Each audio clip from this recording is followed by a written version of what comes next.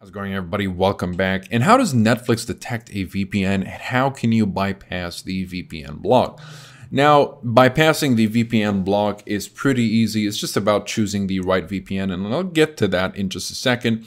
But if you're running into these uh, interruptions or these little error messages right here and you keep seeing them when using a VPN, that's probably because you're either using a free VPN, a proxy server, or an unreliable VPN that doesn't unblock Netflix, despite the fact that most VPNs claim to unblock Netflix, but Netflix is a very difficult service to unblock, and most VPNs do struggle with that pretty uh, bad. But the way you can bypass that, now I'm going to be using Sing 2 as an example here, which is only available in the United States and South Korea so it's not available to me because I'm in neither countries. Um, I've tested over a couple of dozen VPNs and I've narrowed it down to these three as the best VPNs for unblocking Netflix.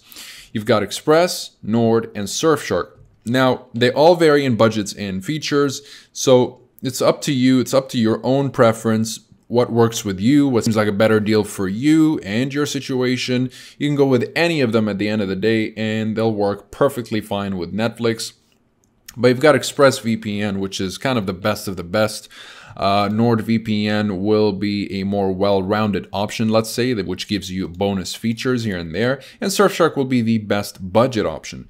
Uh, now, of course, with regards to unblocking Netflix it's a very simple process. You just need to choose the right VPN, which is why I have three options here.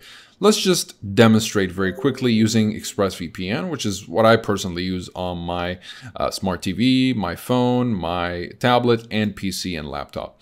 So now that I'm connected to ExpressVPN's American server, all I have to do is just refresh to check if Sing 2 is available. If it is available, it means I have access to the US Netflix. As you can tell here, this is about as simple as it gets. It's all about the VPN. Because of the oversaturation of VPNs in the business, it becomes pretty difficult to know which is the best. So I have these three as the top three VPNs, but if you're interested in learning more about them with regards to their privacy policy, speed streaming, torrenting capabilities, as well as security and features, you'll find a full top three VPNs video review in the description down below. You'll also find links to pricing and discounts if you'd like to take advantage of the discounts while they last. And of course, you have 30-day money-back guarantees on all VPNs, all of these three, on all the plans too.